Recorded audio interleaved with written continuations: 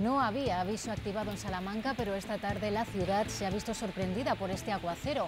Han caído 6 litros por metro cuadrado en apenas media hora.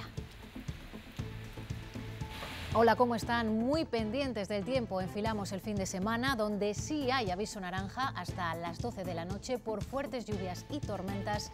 Es en la Ibérica de Burgos y en Soria.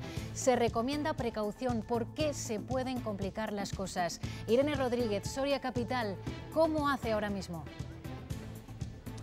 ¿Qué tal? Buenas eh, noches. Pues contra todo pronóstico en Soria, ahora mismo la situación es de normalidad, no llueve y tampoco ha caído ningún tipo de precipitación durante toda la tarde. Sí lo ha hecho en varios puntos de la zona de Pinares.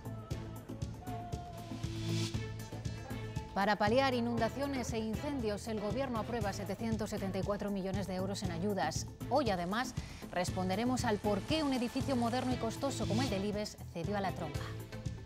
La amenaza de mal tiempo sigue mañana por un frente atlántico que nos cruzará de oeste a este. Las precipitaciones afectarán sobre todo a León, Zamora y Salamanca. Bajan las temperaturas. Que hablar con los sindicatos. Y luego que el presidente es el que se ha comprometido, Mañueco. Que dé la cara Mañueco. Y que lo diga Mañueco. Monumental enfado sindical por el aplazamiento de las 35 horas. Exigen a Mañueco que dé la cara, no IGEA, porque el acuerdo estaba firmado. Anuncian movilizaciones de inmediato.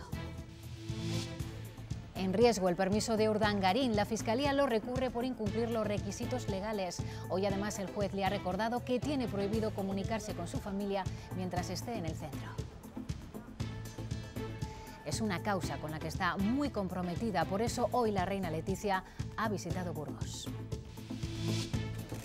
Lo ha hecho para ensalzar la labor del Centro de Atención a las Personas con Enfermedades Raras. El CRE es de referencia internacional y cumple 10 años.